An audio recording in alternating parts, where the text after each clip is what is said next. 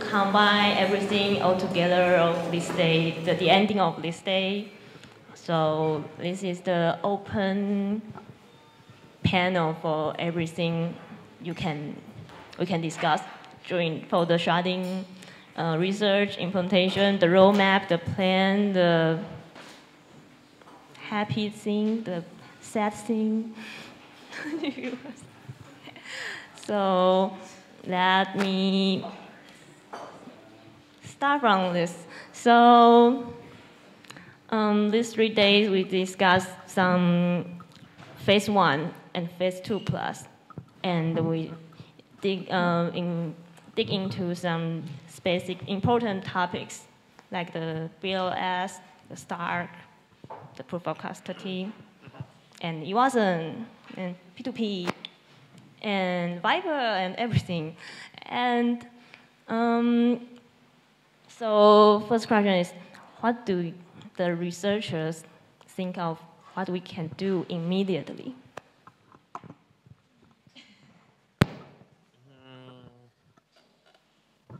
Well, first of all, you can build a plasma chain because that doesn't require waiting for anything. And now it's a plasma panel. Thank goodness Vlad's not here. Um, whoops. Um, I'm sorry. Um, well, it's okay, V. I hope we didn't hurt your priors too much. Inside jokes, inside jokes, Bayesian. Um, so, I mean, one thing definitely, peer-to-peer network, that is something that definitely stood out to me. The fact that Hsiao-Wei, I remember multiple months ago talking with Hsiao-Wei trying to figure out this pub sub thing and saying, you know, just use libp2p, and then realizing that that's just not going to scale up. And so hearing that it's still definitely an issue, it seems like that's, you know, right away, we need to solve a peer-to-peer network that, that, you know, can work for scalable peer-to-peer -peer applications. Because we not only is sharding one of peer, one peer-to-peer application, but there are going to be a huge number that hopefully can reuse some of the work that we do. So that's at least one. On the libp2p stuff, we're not certain whether it will work or not, right? So we should probably do some like load testing. Um, I know some of the teams are interested in like writing code in reference to the beacon chain, and I think that you should um, to get more familiar with the spec and to kind of open the dialogue about some of the um, maybe edge cases and things that we all need to think through from an implementation side. Um, so if you want to write some code, write some code. Um, I think that we were talking about opening a Gitter channel that's a kind of beacon chain Gitter channel where we can discuss um, the beacon chain spec specifically and to discuss some of these proof of concept implementations um, further as we've been already this weekend. And I just want to mention that, um, so it's an open discussion, so if anyone has some thought, please just raise your hand. So I, um, yes. one interesting question I've heard kind of from a number, a few different sources is the, um, and I, I think that I, I have a clear understanding of this, but Justin can probably fill us in a little bit more. Um, the, the VDF, to some people, the VDF sounds like, okay, we're just burning hash cycles again. Um, how is this not um, that? How is this not us just burning hash cycles like a proof of work implementation? Um, so one thing I guess to mention that maybe wasn't clear is that the VDF idea is actually quite recent, uh, and we haven't figured out all the details um, in terms of why VDF isn't like a, a, race to zero where everyone burns a lot of electricity. I guess the reason is one, it's proof of sequential work as opposed to proof of parallel work.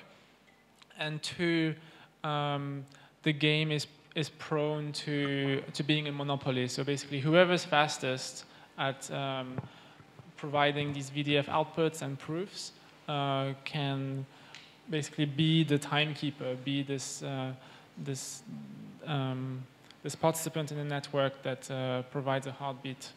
Um, so in terms of um, attacks that, uh, that can happen, there's, there's, there's, there's two ones which, um, which Vitalik uh, found. Um, number one is kind of the, the, um, the more obvious one. So if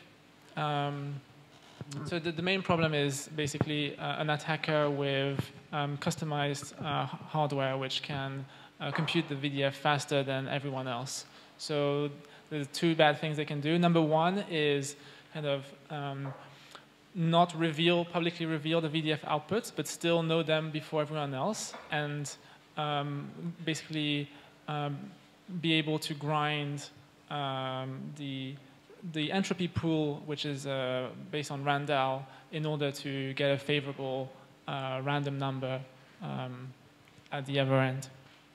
Um, and I guess the second attack is, um, in order to keep the five second uh, heartbeat, uh, we need a difficulty adjustment. And so the worry is that if there is an attacker who's, let's say, 10 times faster than the rest of the network, they will push up the difficulty quite high. And if they suddenly go offline, um, then we don't want the whole system to stall. Um, and uh, it, it, it, turns out that um, so long as we can get the advantage to be reasonably small, let's say on the order of, of 10 or, or 20, meaning that the, the attacker is no faster than 20 times the, the rest of the network, then uh, we should be uh, okay. But, um, you know, I guess there's some uh, research work that needs to be done in terms of what is like the theoretical um, optimum you can you can get with state-of-the-art uh, ASICs. Uh, what can we do with GPUs and CPUs? What can we do with FPGAs? What can we do with um, like um, a very basic ASIC, which wouldn't cost that much money, uh, and make an informed decision based on that. Um, so to answer again the question of like why it would not just return, go back to a proof of work race more more clearly, like basically because it's proof of sequential work, your ability to do more work by burning more money is very sharply limited, right? So a uh, $20 billion um, attacker may be able to complete the work something like five times more than, you know, like, or um, than someone with a few hundred thousand dollars. So we're as opposed to you know like 50,000 times more, basically because there's only so much that you can optimize um, a, a single-threaded computation. Um, and now one question that I think we should obviously look at is like if in case in the case that the system does settle into some kind of monopoly equilibrium, then basically no one else would be getting rewards, and so there would be no incentive for anyone else to uh, compete with the attacker and make sure that they're and kind of help keep the advantage small. So, and there are tricks that you can do to try to kind of encourage the rewards to be more distributed. So one example is that you can kind of combine the VDF mechanism with, say, with hash reveals. So you can, for example, encourage like specific like different uh, specific validators to uh, lay down a hash and that or a, uh, a pre-image and then lay down the uh, pre-image of the hash as well as the, uh, VD, the, the VDF result sometime later and that would basically give that particular um, uh, staker a kind of monopoly right to the ability to make that particular VDF solution, and then you could assign them some kind of reward. So there are still sort of economic optimizations to be worked out to make the design maximally safe. Uh, is my understanding correct that the motivation for adding this VDF gadget um, is because of issues with just a simple RANDAO for the random yes, number So the uh, simple RANDAO basically has the problem that any particular participant can exert one bit of influence on the RANDAO by uh, basically not showing up. And this can affect uh, kind of like short-term randomness, so it can affect the kind of the or the sequencing of who's going to be a proposer and so forth. Now there are ways to mitigate the effect of that. Uh, The what? Um, the order, so in the existing uh, RANDAO spec, the order of reveals is basically you reveal every time you make a block, make a block proposal. If you if you try to manipulate RANDAO by not showing up, then don't you get punished because you, you do, you but the co- but the cost of one bit of manipulation is only one block reward, or at least the, it can't go much higher than one block reward. Wasn't the old RANDAO scheme, didn't it used to be you made yes, a big but deposit? The, no, so the old RANDAO scheme is allowed to have much higher penalties because it had really long periods for submitting the uh, random value. But here the period is like basically one block long.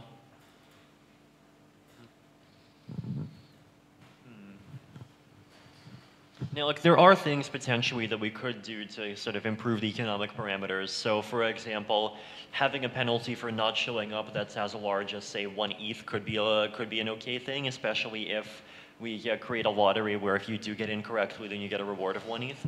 So, it's um, but like even still, the level of manipulability is fairly high. V. Why don't you just have a lot of these slower games? Um, by slower games, you mean VDFs or RANDAOs? You know, the red dots. The problem is that there's still someone who is the last participant, and that last participant um, always has the ability to manipulate and sees all the information before them. Yeah, but it could be. um, Like if it's parallel, then there's still some last point of aggregation, and then the yeah, point of of, course. But aggregation. then you add the V. I'm not saying don't have the VRF also. The VDF. Right. I'm not Okay, saying so not to be clear, VDF when we're talking about the VDF, we are talking about VDFs on top of hash revealed data. So even if someone has a um, hypoth- can hypothetically break the thing instantly, the security only degrades to RANDAO security. But so you, but you, so like, why not do the most RANDAO secure thing anyways then, which is to have a deterministic order, sorry, pseudo-random order of reveals as a function of the previous RANDAO? That, yeah, that's kind of what you have if you have like block proposes proposes that are a function of the previous RANDAO. But then you have to wait for you have to wait for a whole for for for a whole like Dynasty. um, quorum to make blocks. Um, oh, you mean like basically the fact that For the the, new VDF VRF. data is delayed? You should, yeah, you should be able to do get still get new random numbers at every block. No, well, you definitely cannot get like the VDF level unmanipulability for numbers every block because you have to have this large disparity between the time you're expected to submit and the time the numbers start being used to be. Um, Yeah, there's a large disparity, but if you have like lots of them going concurrently, you can always have one. But the problem expiring. is that each and every one of those uh, RANDAO reveals still would still the data would still only be usable after like 10 minutes or whatever. So you're not getting much.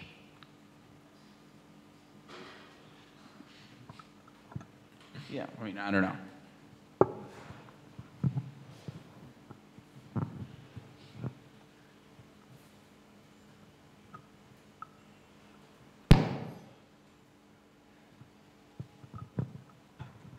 Um, there were some talk about how um, the signatures between blocks, say there, if, if there are, if we go with the attestation uh, design, um, how we effectively do communicate these signatures. I haven't thought about too much. Um, is that something that does fit into the libp2p or the P2P layer, or is that something that any of the team has thought about?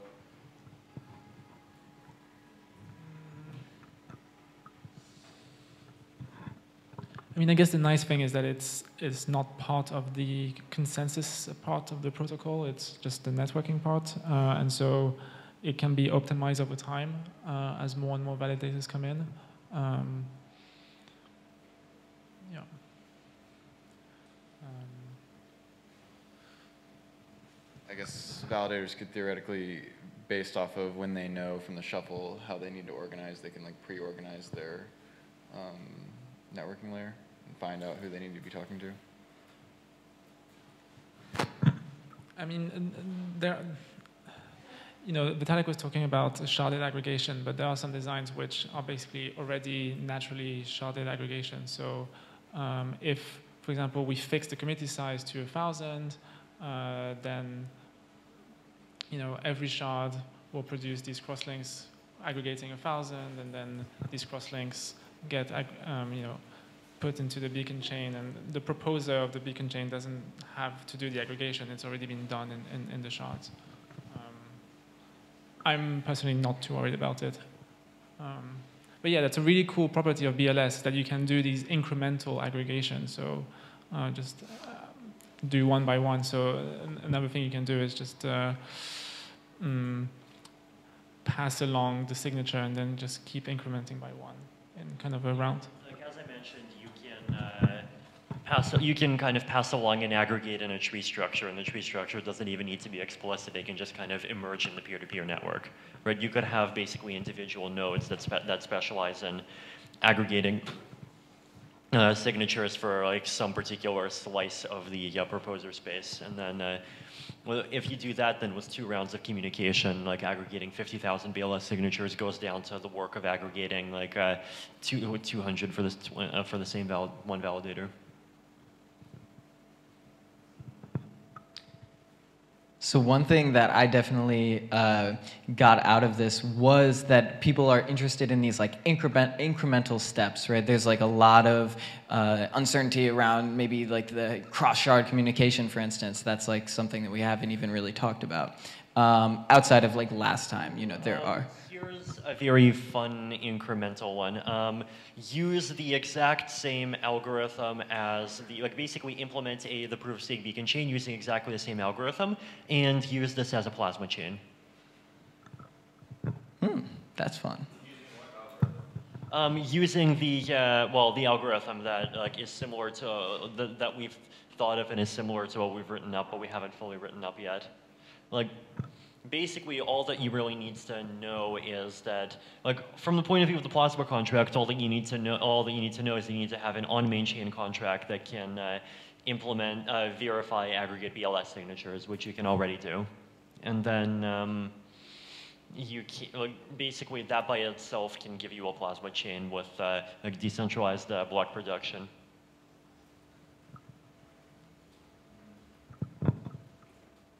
and and I don't know, at least one kind of incremental thing is definitely, you know, you have the the peer-to-peer stuff, but then also there was this, you know, Casper FFG with all the the uh, you know uh, votes and those kinds of messages, and and definitely learning about kind of doing a beacon chain where you don't actually fill in the details and then you use just kind of like stubbed randomness, but getting that FFG mechanism working to finalize the main chain, I think is definitely a good step, right? Because it does give you some more economic security. It maybe doesn't give you the randomness that you would want, which is clearly still being figured out.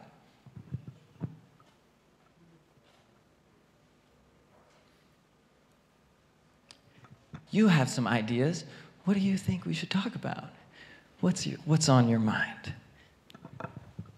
Um, who here thinks we should talk more about STARKs? Okay. um, who here thinks uh, we should talk more about plasma? Okay, we got one. Hey, two, three. Wow, okay. Who here thinks we should talk more about why Vlad doesn't like plasma?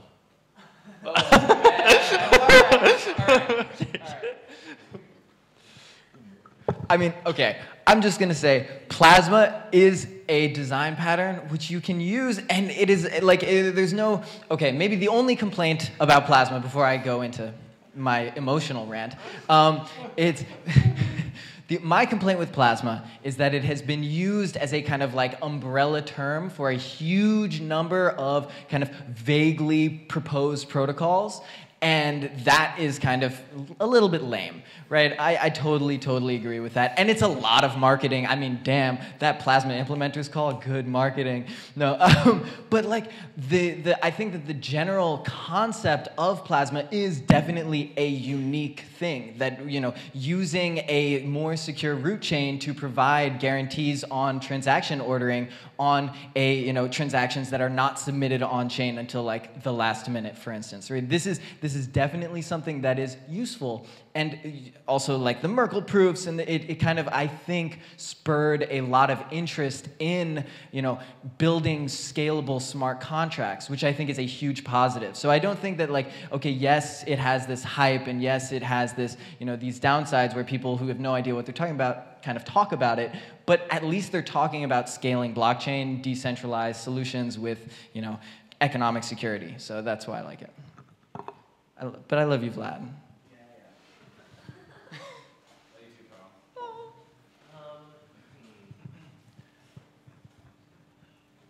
In you two guys who are uh, actually writing the spec, in your opinion, is um, are we do we have a general framework? Like is or do we are we going to change this in a month? like Like the general structure of like the fact that there's a beacon chain and the way it Cor- interacts with proof of work chain. Correct, correct.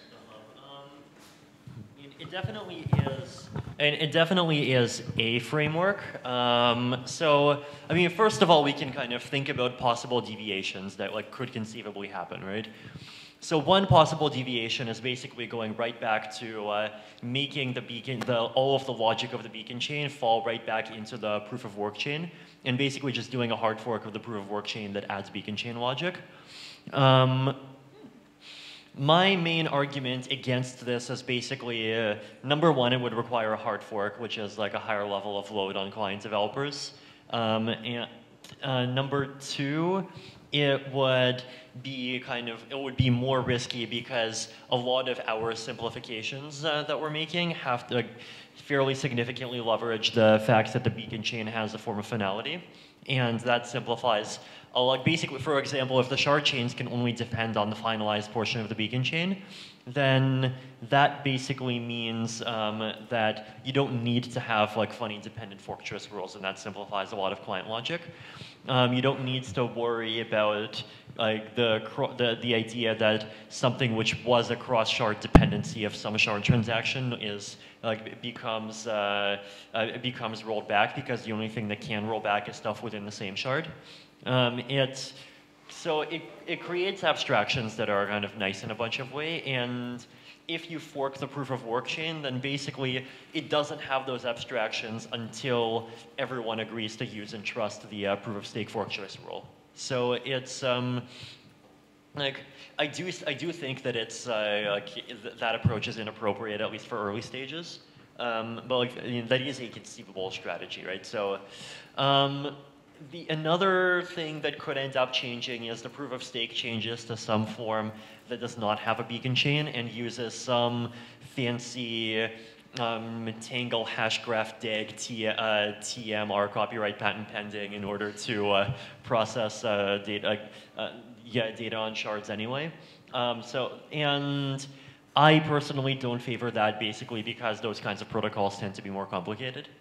Um, and don't have you know choice rules that are um, you know like basically it's um, like having a uh, okay final go ahead.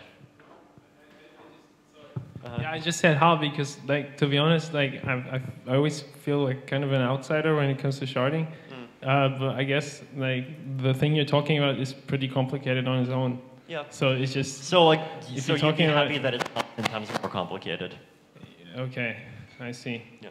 Yeah. So, but like maybe, yeah. Sorry for interrupting you in this weird way, but uh, I guess the basic question was like before was, uh, do we have a general framework? And that would be like genuinely interesting for me as well. Like, are we just gonna stick to?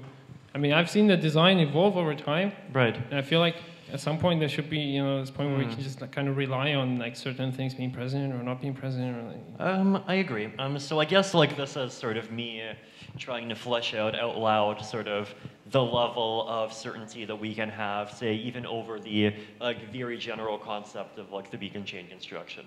Yeah. Yeah Mm, so, like, so for example, we've had a concept of a central, of some kind of central beacon chain pretty much always throughout the entire design, right? Even since like literally 2015. Yeah. Um, the concept of the beacon chain being temporarily separate from the main chain is a new idea, but at the same time, like in, so realistically for that, you know, you give it a couple of months before it solidifies, but there's a, yeah, like, it does seem like we did move toward this approach from the other approach for uh, for a reason, suggesting a reduced likelihood of moving. No, back. I, I get it. But yeah. so the, the question is, what I think it makes a lot of difference in people's heads, though. Like, agree. That's like the kind of thing. So you know, it, right? When, when, when, you talk about you know storing the like shard state on the main chain or storing it on like a separate chain, it makes a lot of difference for people, even though you know, conceptually so there's I can not that big. give other things that are set in stone fairly. Yeah. Um, so one example is the concept of like proof of stake where you deposit and then you become a validator and then you do stuff. Well, yeah. Hmm. Yeah. The concept that you base you have some form of random sample selection and you get assigned to validate some data over here, then validate some data over there, and these like random samples are used as um, as a way of convincing the rest of the network to accept the data. Yeah. Um, so like one kind, the, like the fact that there is sharding in general. So even that by itself, like So, for example, I do think that there are enough details set in stone to make it possible to work on a peer-to-peer network for it. Yeah. Yeah. No, but I get it. So the, these things, I think, more or less everyone agrees with by now. Right. Yeah.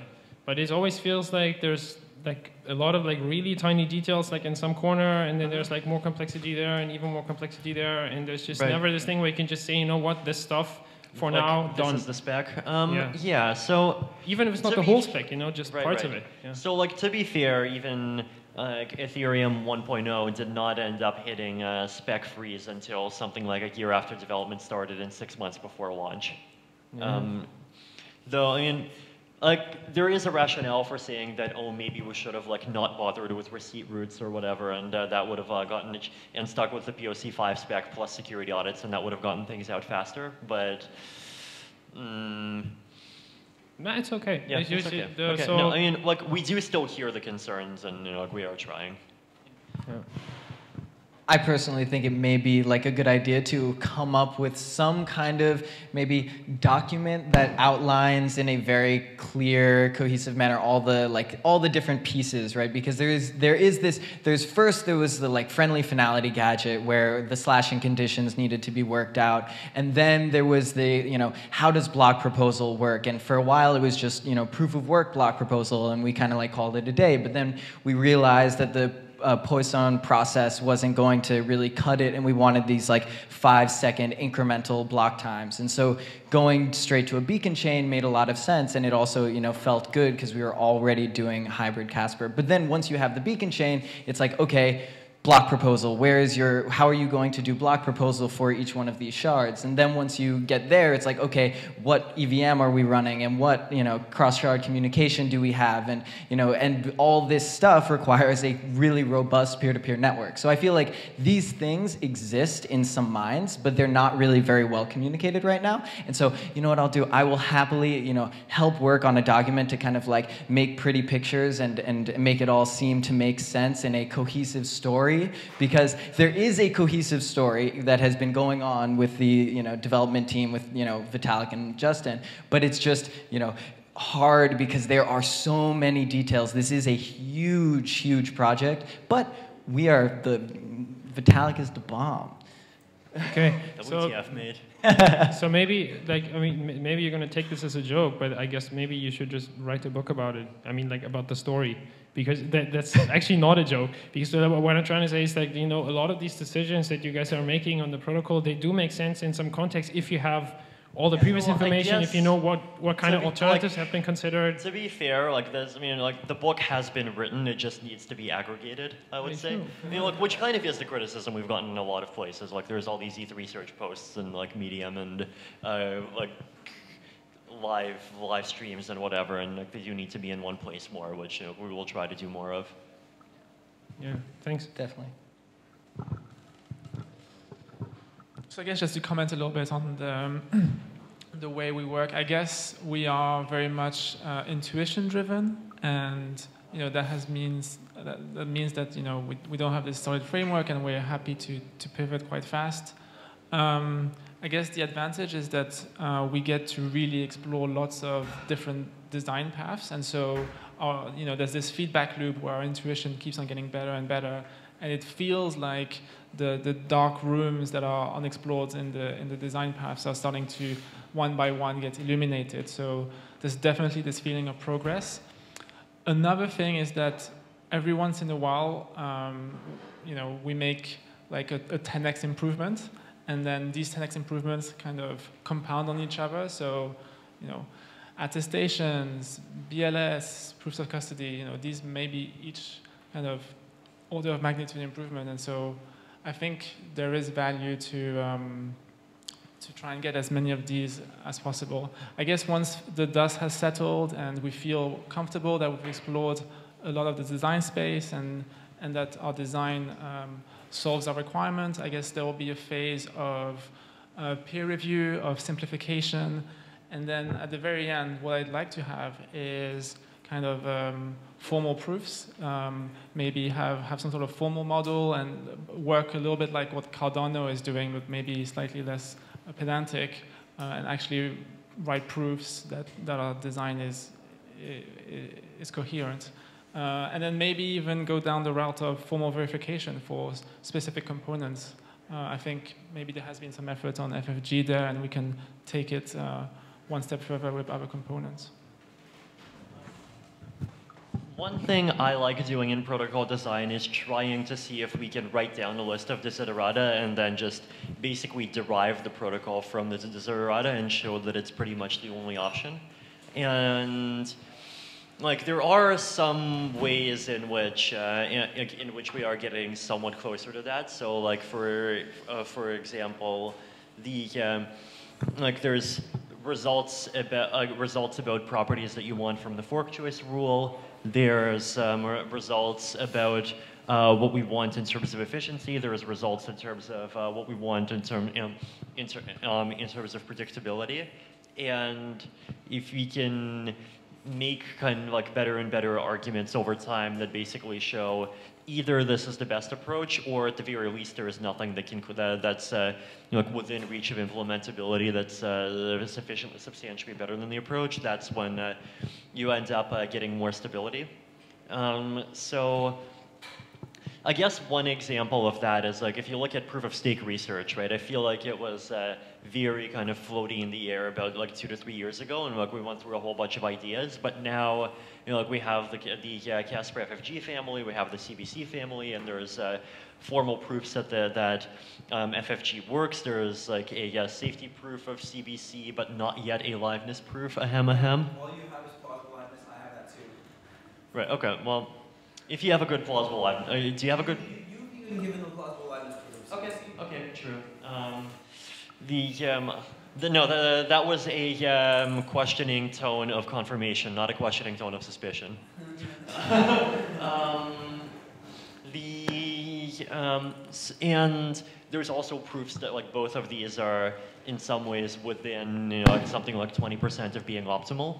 So once you get to and once you get to that, then you do get um, like that does basically mean that things are kind of like much more stony in that way, right?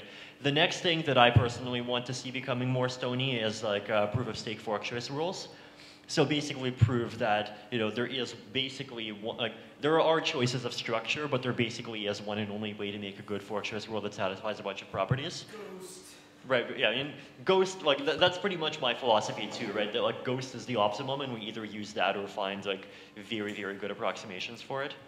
Um, so, like, if we can sort of, like, set the fork choice rule in stone and possibly even formally prove properties of the fork choice rule, um, so like one example of, of a property that I want to formally prove is it's impossible to censor more than 50% plus epsilon of all validators, um, assuming everyone is offline and you control 50% minus epsilon. Um, another one might I mean might be properties about like difficulty of censoring selectively, right? So and you want these results to be ideally as independent of the random number generator as possible. So if you can kind of like prove, move toward proving results like that, then that comes closer to like basically saying, okay, this is a fork choice rule, and we know for a fact that we have, that we can prove these properties, that it's impossible to get properties that are asymptotically better, and so we have something that we can kind of settle on and assume it's not going to change.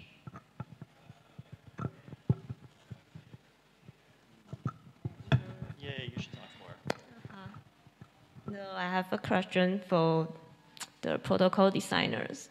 So, what will be like the perfect chain in your mind?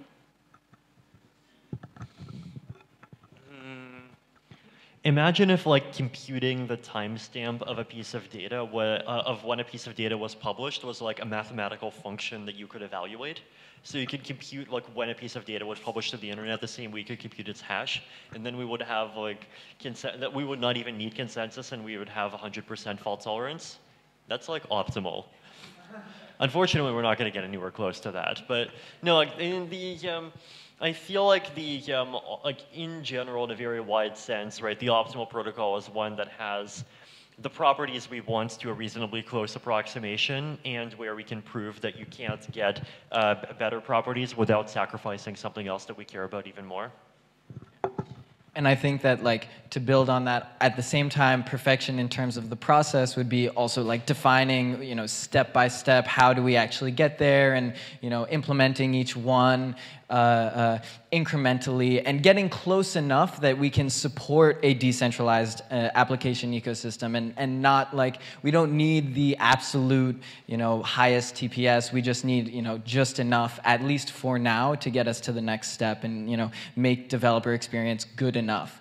Um, and then pass it to Danny. And to keep these components uh, as modular as possible, as we discussed earlier, so that we're not stuck. So we don't have a protocol that like almost does what we want to do, but you know we wish they did it this way or that way. Um, so to keep thing, keep the design very very modular.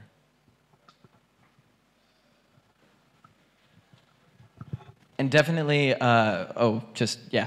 And also like transaction security. Like what i really like is i like the idea that you know you can sign a transaction and depending on what the you know what kind of transaction it is you get different levels of security and you're okay with different levels of security. And like the more you wait the more ingrained it gets and the you know if you sign it immediately and it's a state channel then you get like some level of instant but then you know. So i like these kind of uh, gradations of security um, so what is a good enough developer experience? Because I think a lot of developers don't really care about the details of the consensus Agreed. protocol or whether it's five second blocks or 10 second blocks. They just want to know how painful is it going to be to build a dApp that scales?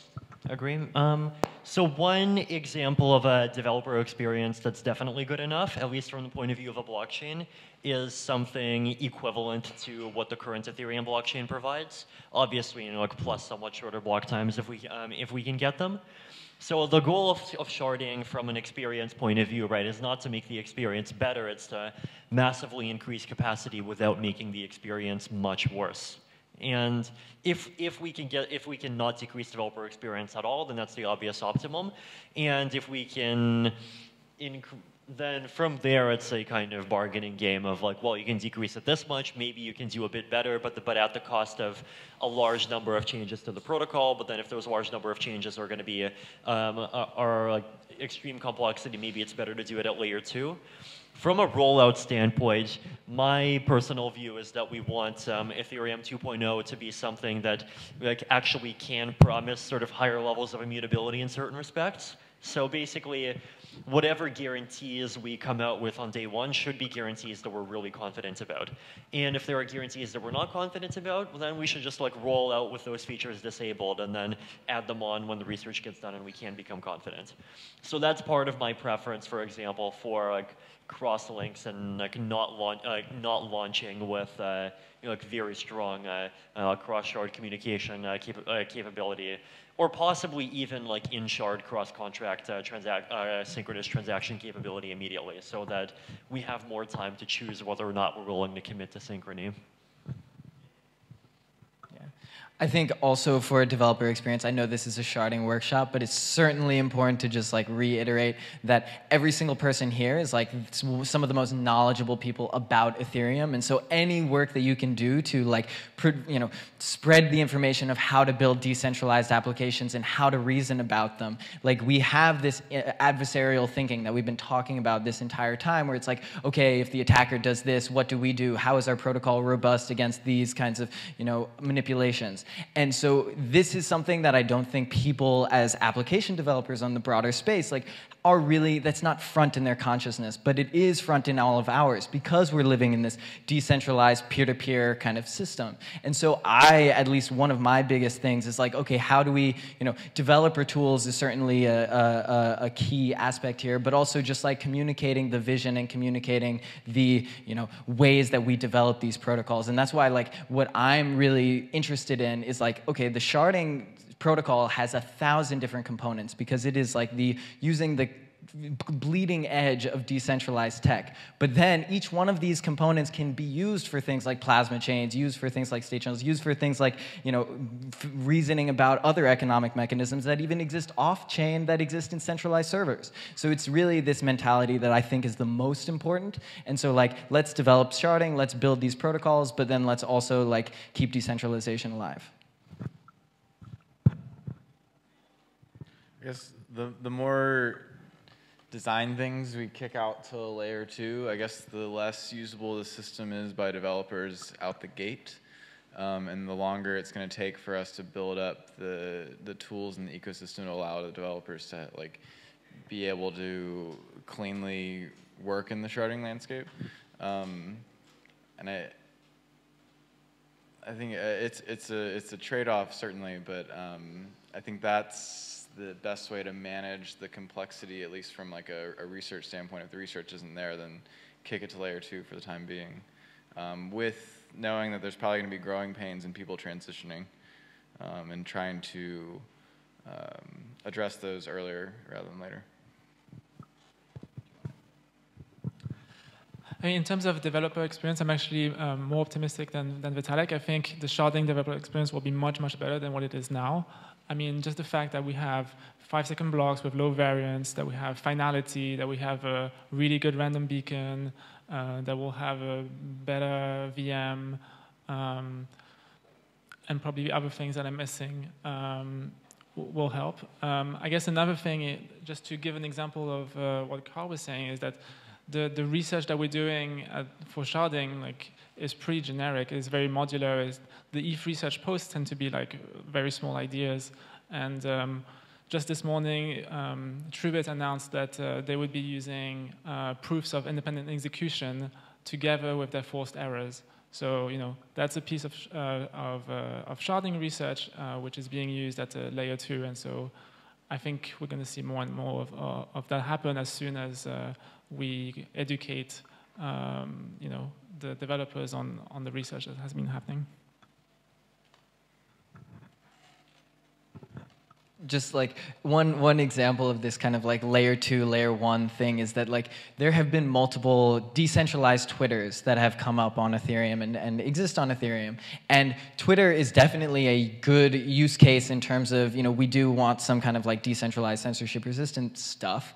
But if we were to like scale this decentralized twitter we clearly can't publish every single tweet on chain we don't really need like everything to be on chain for Twitter. If you use hash links, then you know the ordering of your tweets for one particular user. You have private keys, and you do need pieces for that, for like identity and for uh, like sending money and for you know putting bonds for your tweets, or you know there are a million mechanisms that you can use on Ethereum. But it's like developer experience is also saying, okay, this is don't necessarily just like put a tweet in a transaction unless there, there, I know Vitalik likes putting tweets in transactions at times because we don't have like the scale yet. So I, I'm going to get in trouble. But nonetheless, keep it off chain and make a good user experience. I'm actually, and I think the use case for you for like what to do with shards before they become usable for code isn't even no isn't even just Twitter. I was actually thinking about storing the uh, user interfaces and like other content related to decentralized applications. Uh, so like basically if people want to use dApps and like either Swarm isn't ready or they happen to want something which is like even higher guarantee and availability than Swarm, then they can just like shove uh, the data if it's under 100 kilobytes or whatever into a shard. Possibly if it's even up to a megabyte, you just have to pay more.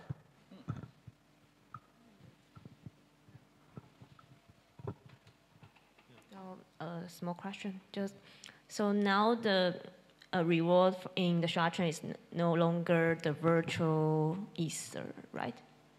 It's the real ether? well, what do we mean by this? Because uh, back to the, in Taipei, the reward of the chain are actually not the real. Um, so in the current spec so far, all of the um, incentive accounting happens on the beacon chain, and like withdrawing is just a stub, right? Now, the, the intention is definitely for beacon chain deposits plus their rewards to be withdrawable into shards and for there to be a, a uh, money, a eventually a pathway for moving ether from the main chain straight into shards. Mm, so like virtual ETH is sort of real ETH in that way. I have, I have a different question. Okay. So uh, you guys, uh, like, uh, just because Swarm just come up, it was kind of a thought from this event that it's, it's, it's funny because uh, the, the, the, Swarm team has been doing its own research also on, on, on, on, things like proof of custody for a long time, and it's actually supposed to be like a reliable thing to uh, a reliable system to to uh, store things and ensure that they stay available. They do have like a messaging solution available and things like that. So how are you guys thinking about you know maybe collaborating with the Swarm effort more to maybe use it to just you know store your stuff and send your stuff? Yeah, and I think one very natural area of collaboration is that we do need a uh, storage layer for blockchain history, and we do need a storage layer for receipts, and we need a uh, decentralized search engine for receipts because, like, ultimately searching Bloom filters for topics is like nowhere close to enough. Yeah. So, like, I think that that does naturally form a kind of one of the initial killer apps for uh, Swarm. Yeah, but then the question is because I mean, as far as I can see in in the in the in the sharding protocols, uh, it does ha- require uh, built-in proof of custody to Mhm. ensure that like immediate history is live. Uh, couldn't that kind of facility also be provided by, by, by Swarm then? I mean, it does the proof of custody anyway. Um, so I think like the, the main problem is that a proof that uh, uh, that a file has a proof of custody needs to be included. Like first of all, it needs to be included in the consensus layer, and second, to get the guarantees that we're looking for, it has to be specifically the randomly selected subset of validators. Uh, I see. Yeah. Okay. So basically, the yeah. So our goal with the kind of random sampling um, plus um, uh, proof of custody uh, plus like proofs of execution is to try to move the model from being honest majority to being uh, or for being uh, to being kind of like uncoordinated economically rational majority. And so, like, basically, unless a very large portion of participants are kind of coordinating to attack, then it, it would be in people's um, interests to only participate in ways to keep the system running safely. Yeah. Okay. So anyway, I, I, I really th- think like you guys should consider like using Swarm more because I do think it has like interesting Yeah, no, properties that might help you. Agree. You know, save- we should definitely talk more. Okay.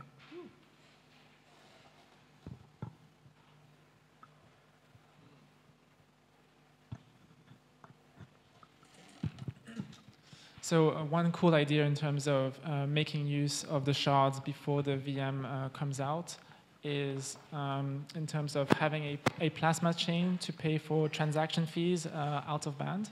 So, I mean, that's even something that I think would be very valuable once we have an EVM in the shards because who wants to have you know a balance on a thousand shards just in case they want to make a transaction on, on this shard or that shard? So, I think it, it makes sense to have uh, one or even many plasma chains where you can have a single balance in ETH, and then in the plasma chain you can say, I will pay um, the first proposer who includes this transaction on this shard, and that's how much I'm paying them.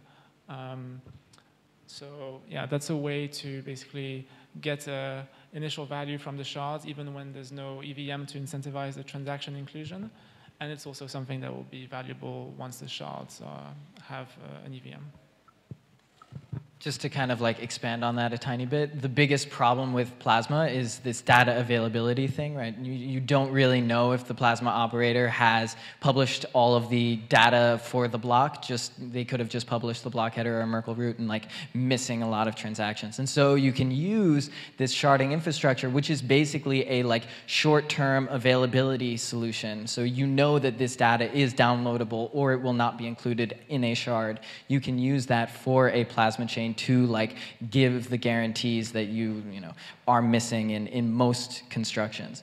Um, and so you basically what you're doing with that is you're mitigating this kind of exit um, like not yeah this mass exit vulnerability which is not as bad in certain circumstances but essentially you don't want your plasma operator to be able to force users to exit ever because that is just like a griefing vector so you can like kind of solve this which is cool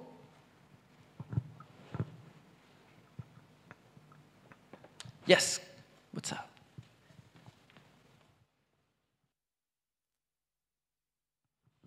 Hi. So, um, what are the uh, the darkest rooms left to be illuminated when it comes to sharding? You know, what are, what are, what are the the biggest uh, known unknowns? Hmm. good question Um, so what one kind of somewhat fine one is like what level of efficiency for STARKs is actually possible. And the ends basically like that's kind of like a positive leaning dark room because if it's possible to get STARKs down to some like absurdly low low size, then there are way more applications to use them for than just aggregating signatures and uh, uh, doing VDFs. So for example, verifying block correctness, recursively verifying block correctness, verifying block availability, and then we can uh, get rid of fraud proofs in many cases. And one, if you have like extremely perfect kind of inst like, like instant, like extremely fast uh, general purpose uh, succinct proofs, then you can like that massively helps even uh, scalability and like it opens the door to super quadratic scalability in a bunch of ways. Um, another uh, one, another dark room that's kind of more on the dark on the dark side of darkness is um, basically the, the way in which the kind of community would respond to the economics of proof of stake in practice. Like basically because like the, you know, the economic model is definitely one that has been kind of philosophized over very heavily, but it has not been uh, tested and like the number of people who have uh, worked on proof of stake with math equations is definitely like it's definitely the case that I think even many of them have not asked the question of like given the current incentive structure do I personally feel comfortable with like shoving half of my ETH into this into this particular model? And um, that's so the way you know, like are there centralization incentives are there, like, do the anti-centralization incentives actually work? Um, will everything just coalesce into like two pools that are controlled by Bitfinex and like whoever else ends up running, you know, like the EOS delegate nodes or whatever? Um, like, um, like we have sort of philosophically come up with, uh, you know, a, a bunch of mitigations and a bunch of ways to kind of like make the out the proof of stake more friendly in practice, but like this is stuff that has not been run in the wild. And until it has been run in the wild, there is a certain uh, degree of unknowableness that's not going to be crossed. So, so these things aren't technical questions; they're more sort of sociological in, in that sense, right? Um, yeah, it, it, like there's there's technical element elements to them. So, like for example, the feasibility of uh, running you know like certain kinds of centralized proof of stake questions in practice. But like it definitely is like like a, lo a lot of the extent to which say proof of stake will succeed at being decentralized is definitely as sociological as it is technical. Like it's basically the the extent to which centralized providers are capable of providing more convenience and the extent to which users value this convenience. And like I do think that the centralization, decentralization of proof of stake battle will be fought along those dimensions even more than along, uh, than along the economic ones. And that's, you know, that, that definitely is like that kind of unknown that can't be as easily put into equations. Um, another one is also incentives that have to do with capital lockup and how the market will deal with, uh, so capital lockup of validator slots and how capital lockup of validator slots will end up being priced and like how people will choose to participate in that versus participating in by say putting their deposits behind uh, like state channel constructions or interactive verification constructions. And the extent to which um, like how those will interact how those will compete with each other I mean, on the intersection of making sure proof of stake is properly decentralized and of um, dark rooms, I guess one new dark room that was um, pointed out to me um, recently during this event was um, is our protocol friendly to decentralized staking pools? Um, and it turns out that maybe not, um, especially in regards to RANDAO. So, you know, with RANDAO, you need uh, a a single entity to, to reveal the commitment, and we're going to have a slashing condition so that um, you don't reveal too early and, and, and basically break the, um, the, the, source of entropy. Uh, but if you have this unique revealer, how does it play with uh, a decentralized uh, staking pool? That's still an open question. Well, it's solvable with a distributed key generation, but like not easily. You mean some sort of um, basically every uh, participant uh, uh, participant PI generates a value xi, secret shares it in, and like gives participant J like xij, and then uh, participant J gets all of the xij pieces, and then like Lagrange interpolates them all together, and then you have like elliptic curve verifiability, uh, verifiability on all of that, and this all happens off chain. Like it's a primitive, and academics have a name for it, but like at the same time, it is hard. Okay, so you have this scheme to agree on the secret. Right, but you also need to pre-compute the whole hash chain. Right. So basically, this kind of approach would not have a hash chain. It would have like a list of hashes that get revealed over time. Okay, so we need to we need to change the protocol to be friendly. Okay. Yeah.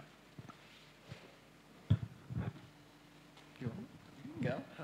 Ooh, ooh, trusted hardware.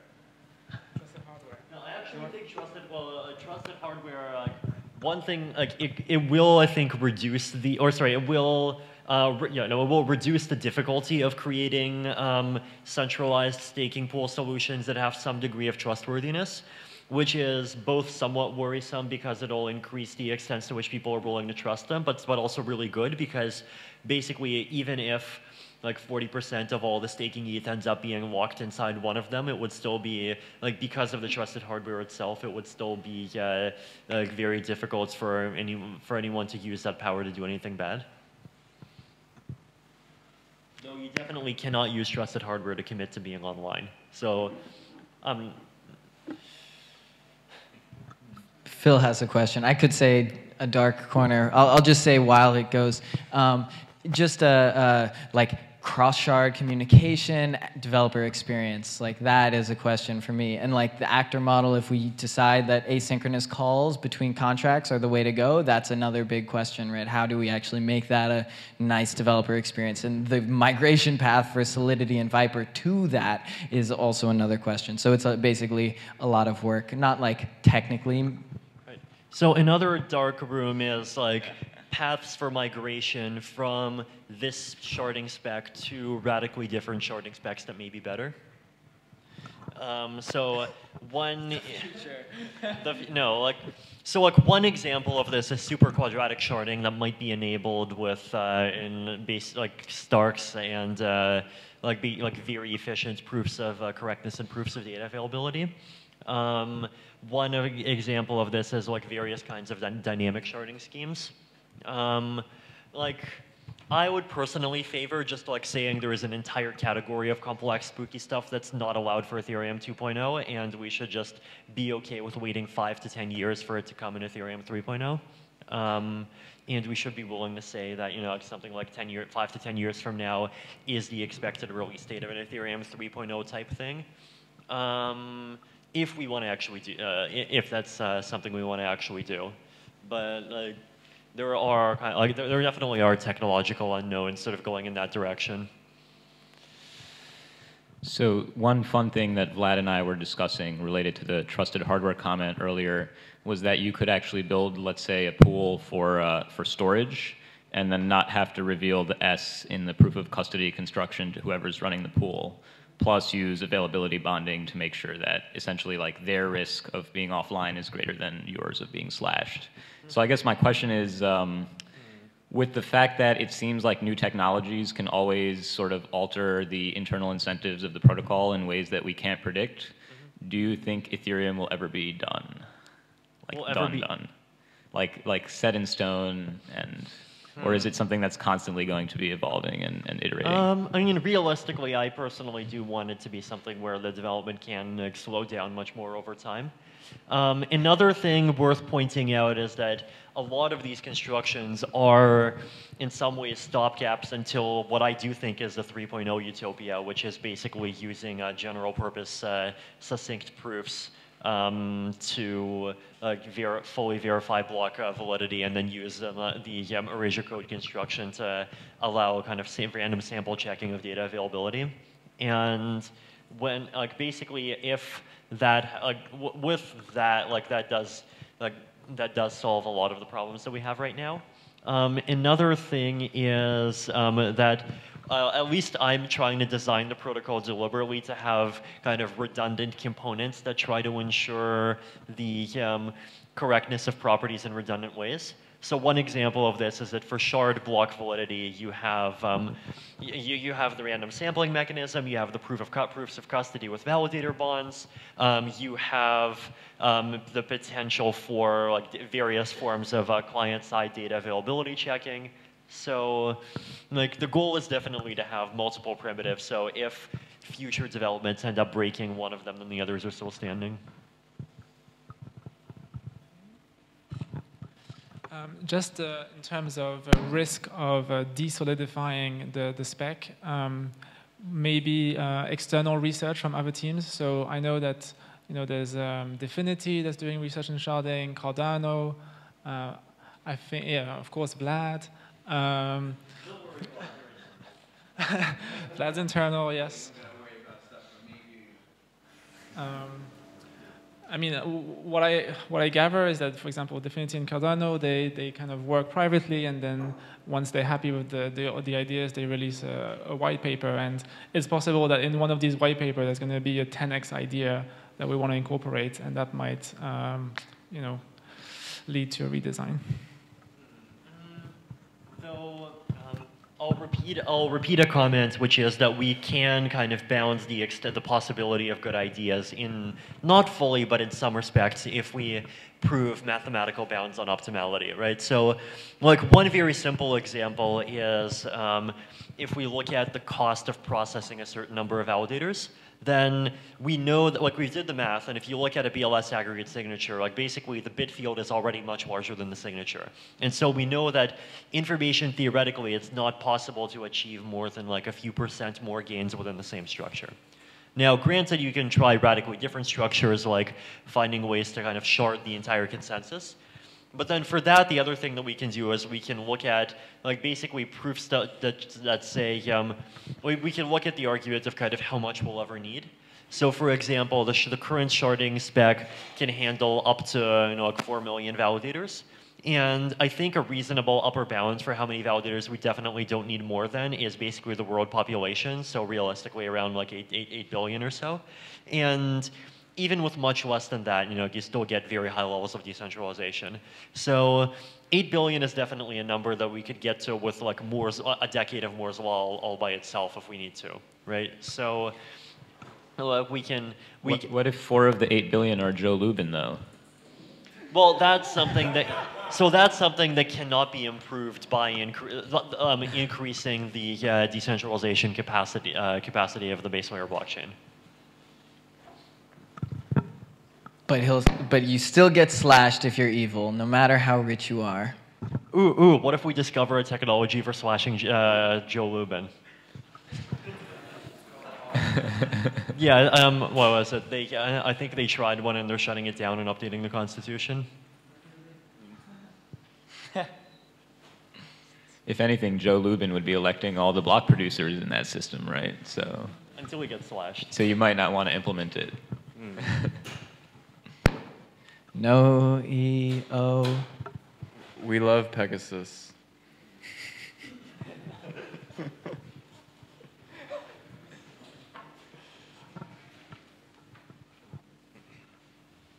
um, I'm personally excited to start building this spec and um, you know being flexible as it grows, but uh, starting to get it out the door. I, feeling somewhat confident that that's uh, that it's time. So. And I'm feeling good about solidifying portions of the spec and very much communicating and talking with Hsiao-Wei about the peer-to-peer network. I'm sorry, I keep talking about this peer-to-peer network, but other things too, not just that. Also the the finality gadget with a, a concept of a beacon chain and coming up. I feel like there's an there could be an interesting way to like do that where we don't actually where we can have like some kind of test net where we don't that we don't have to pivot away from very easily. Because i mean the finality logic is still there. Um, there is a chain that exists in, uh, concurrently. That is the big decision. Like do do we somehow go back on this beacon chain idea i think is like a definitely a key thing that's in my head.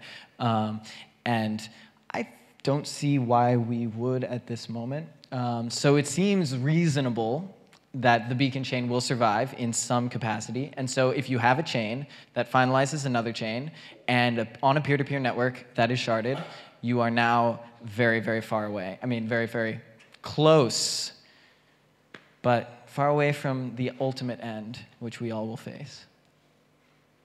Sorry, that was weird. Yeah. Uh, yeah, so close but yet so far. So close but so far. No, that, that remind that was the title of one level of a video game I played like 10 years ago, where one of the levels basically had the start and the end be like literally three meters away from each other, but separated by a, like a, a basically a cliff that it was just too long to jump over, and so he had to do this really big long journey that took many hours. Wow, mm. cool. Yeah. It's a fun metaphor. Yeah. We're already at the end, if you really think about it. Uh, Yeah, so I guess so. Ethereum is a very transparent discussion on the research. On the Ether, um, on the Gitter, we have a sharding channel and so many blog posts, Vlad's Twitter, Vlad Vitalik's Twitter, and that's all the news. Oh, it's very boring. and so um, I like to thank all the um, attendees coming from far away or just in Berlin, but and sacrifice your Sunday to join this uh, meeting. Yeah.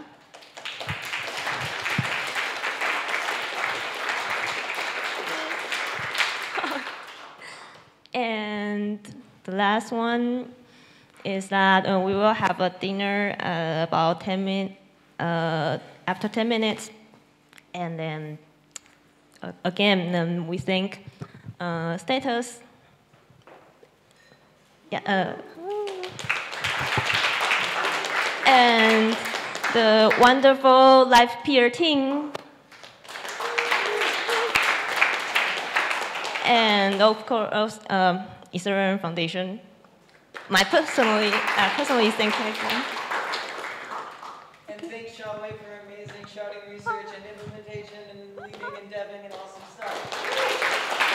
Thank you, Paul.